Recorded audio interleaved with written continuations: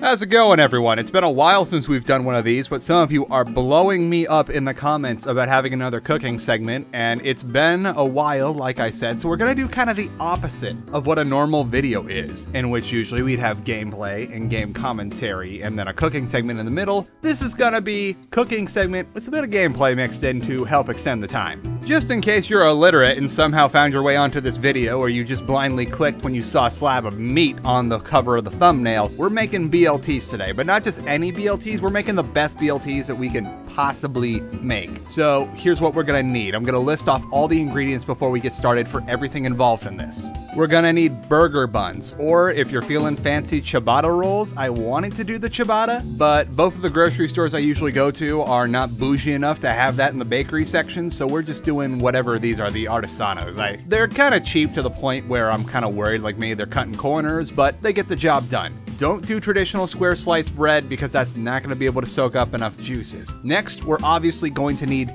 bacon. We're going to need two kinds. We're going to need the center cut kind, preferably the thinnest bacon you can find. And then we're gonna need the thick stuff, the dummy thick stuff. Get that extra thick cut, the stuff that's less of a thick cut of bacon and more like an extremely thin cut of pork belly. That stuff is gonna come into play later. We're also going to need a head of romaine lettuce, one meaty beefsteak tomato, and then we're gonna need all the ingredients for our guacamole spread, which is going to be avocados, duh. We're going to need lime, we're going to need a can of banana peppers, or a jar, I should say. We're going to need some Mexican green onions, and salt and pepper to taste. Now, as for the equipment you're going to need, I'm just gonna list these off in no particular order. You're going to need a 14 inch frying pan. If you don't know if it's exactly 14 inches, just grab the big one in your kitchen, that'll do. Then you're going to need like an oven pan, like the kind you'd bake something with. You're going to need a drying rack. You're going to need a pair of tongs for flipping that bacon. And uh, let's see here, you're also going to need a bowl, maybe two bowls, depending on how you're feeling, a good old fashioned kitchen knife knife, some kitchen shears, or basically those scissors that you get in every set of kitchen knives ever. If you have one of those blocks, you have a set of kitchen shears, a cutting board for your veggies, a few plates to put everything on, and lastly, you're going to need a couple ramekins for reserving the bacon fat. This is a very important part of it, even if you decide not to use the bacon fat later on, and we'll get into that in a minute. All right, first orders of business are washing. First, wash your little oven pan very thoroughly.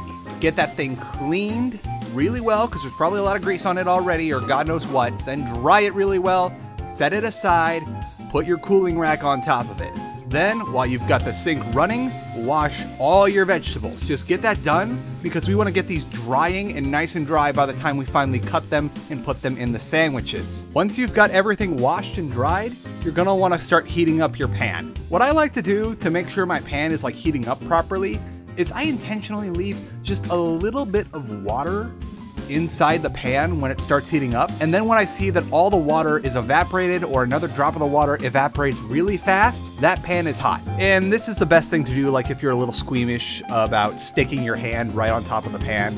Some people are like that, I get it. It takes a long time to get comfortable with that. So this is a good method for you as long as you are very careful because hot steam can also burn you.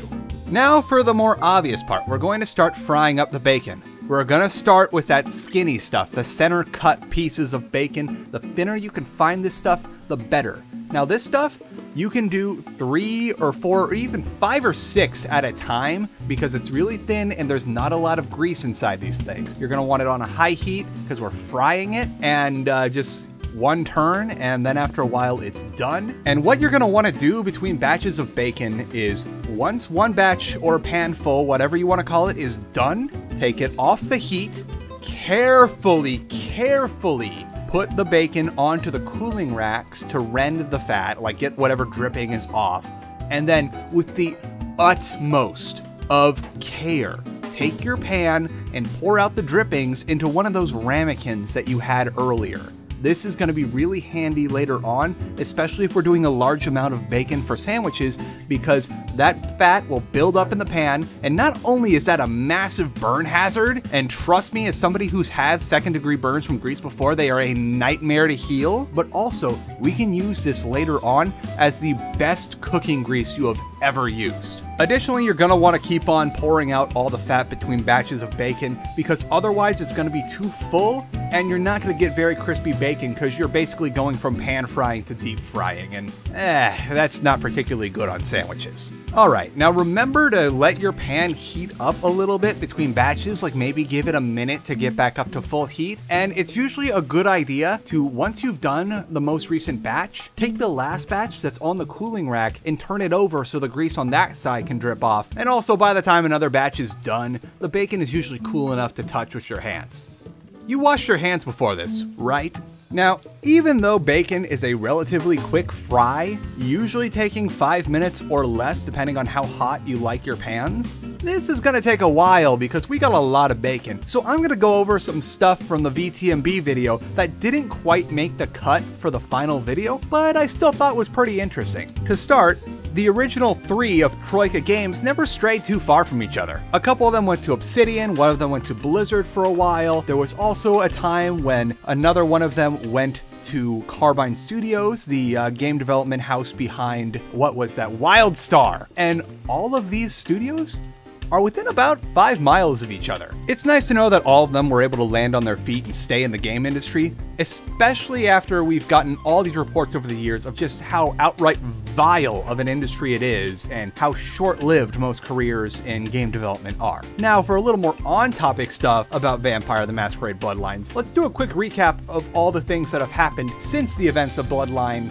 to kind of give us an idea of what's going on. The uh, most I guess, prominent thing. Uh, by the way, if this is rambly, I'm sorry. I don't write scripts for these videos for cooking because whatever. Is that there was something called the Second Inquisition, which TLDR on that was a Secret Service agency was able to hack their way into SchreckNet, the Nosferatu like dark web internet thing, and they're like, oh crap, vampires are real. They don't call them vampires by name, they call them, I believe, cold targets based on like how they don't have a heat signature because they're already dead. But after that, all the secret organizations, quasi governments of the world got together and were like, this is a problem. We need to deal with these vampires, but we're not calling them vampires. So they attack the Prime Tremere Chantry in Vienna and they blame it on ISIS. Uh, this pretty much uh, screws over most of the vampire community, particularly the Tremere, as the Tremere have what's called the Pyramid, something that Maximilian Strauss alludes to, which is basically a massive network of bloodlines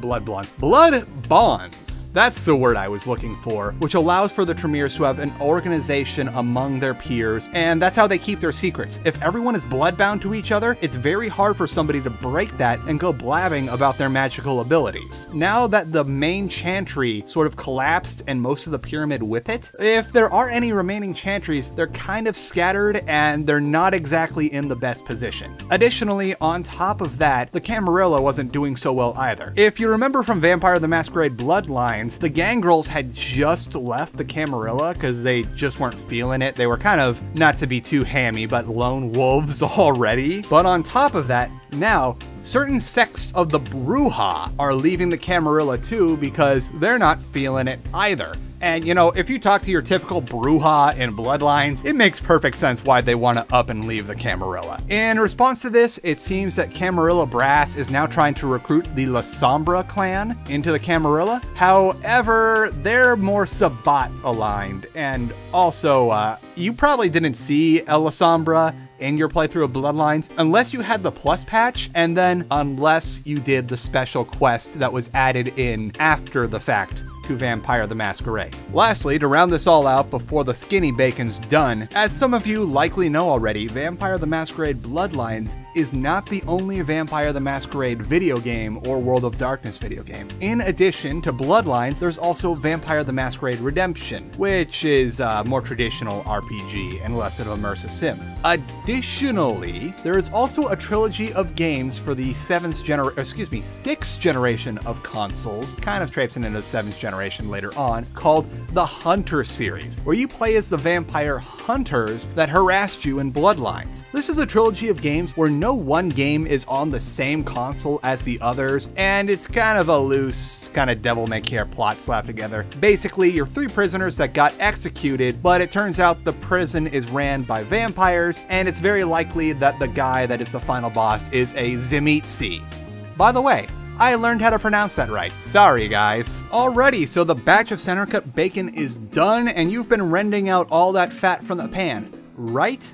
Okay, now if you like your bacon chewy, then you're done with this batch of bacon. However, because we want to have crunch and meatiness in our bacon, we're going to take all this bacon, and we're going to fry it a second time now that the bulk of the grease and fat is out. This is going to be really fast. This stuff is already cooked through. We're just trying to crisp it. So if it isn't already, put your pan up to full heat and then you only need about 30 to 45 seconds on each side for the center cut bacon to give it that extra crisp. Once that's done, put it all back on the rack to get rid of whatever is left of that fat.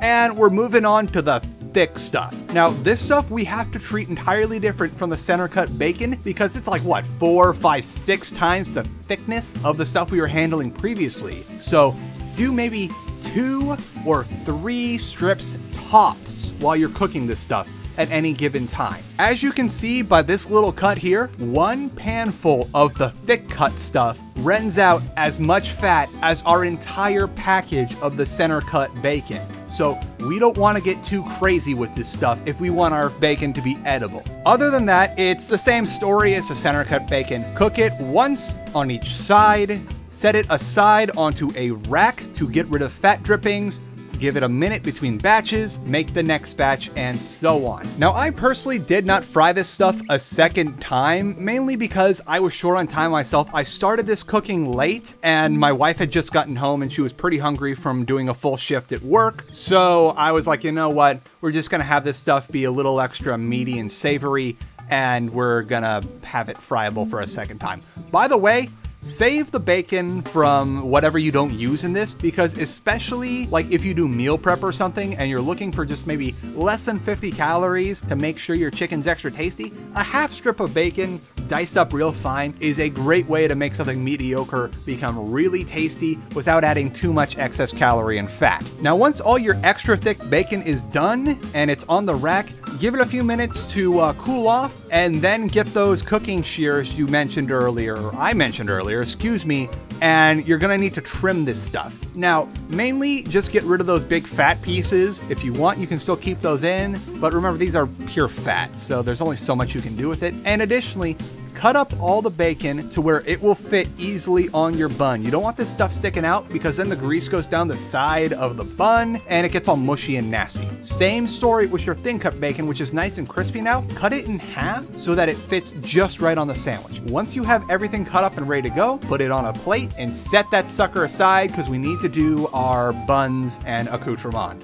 Is accoutrement the right word for this stuff? I- am not sure. Alrighty, it's time to make that guacamole and then finish this sucker up. So I'm not gonna get too into the guacamole recipe here because this is basically you suck at cooking's guacamole recipe. Like it's his first video he ever did, and I'm just gonna name the differences I do if you wanna do it like my way. However, I cannot recommend enough checking out that video. It was like the first thing he ever did and one of the best. And the channel in general is great if you wanna make like simplistic but kind of quirky cooking things. The only differences I do is instead of doing normal green onions, I use Mexican green onions, which are a bit more bulbous. And what I do instead of the weird cutting thing is I slice them finely and then once I have about the yield I want, I take that and I run it through a couple times, which if you don't know what running through is, it's basically when you rapidly cut something with no measurement to get a sort of fine but somewhat inconsistent particulate, or is that the right word? I don't know. And it's really good in this case for guacamole where we want it to be kind of chunky. Then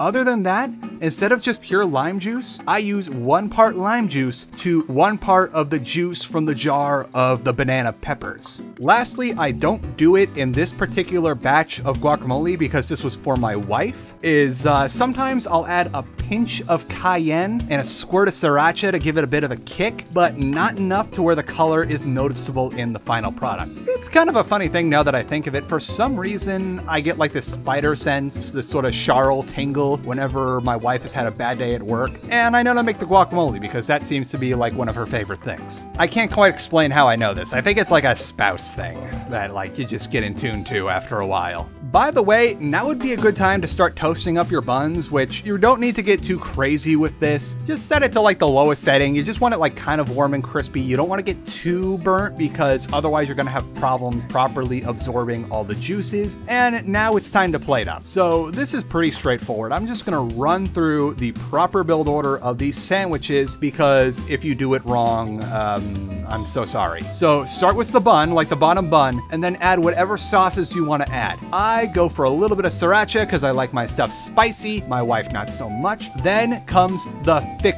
bacon, like the real thick stuff. Maybe about two strips worth here because this stuff, it's like already pretty meaty and you don't want to make your stuff too chewy. Then add the lettuce. I chop my romaine sideways like this because it makes nice convenient strips to just layer on top. Once you have a decent layer of lettuce on these suckers, then comes the tomato. If you can get away with it, just have that nice thick cut from the middle of the beefsteak tomato, and that is gonna be excellent. If you can get full coverage with one slice, that is optimal. Here, I'm using like a tomato that I had from a previous meal, cook, whatever, and I had to do parts.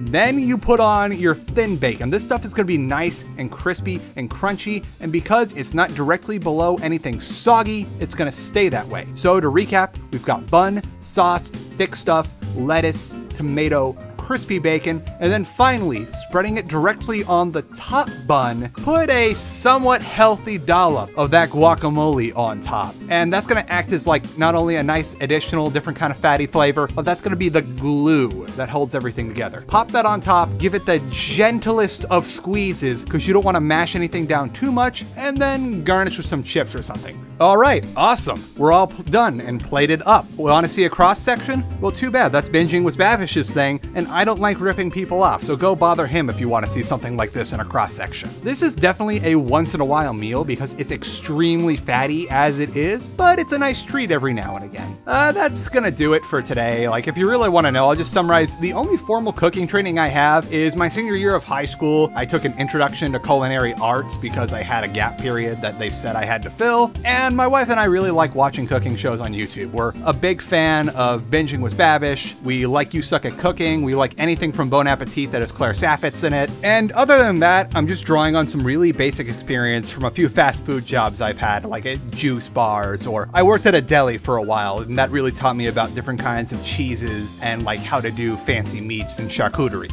But uh, I'm rambling a little too much for this video. I already see it's running over time, so I'm gonna leave it at this. Thank you all so much for bearing with me here. This is kind of a fan service thing for a very select few of you. Gaming videos resume tomorrow. Uh, sign offs are stupid and I don't know how to do them, so enjoy the cat video. I think it needs another coat. Oh. Get a is different.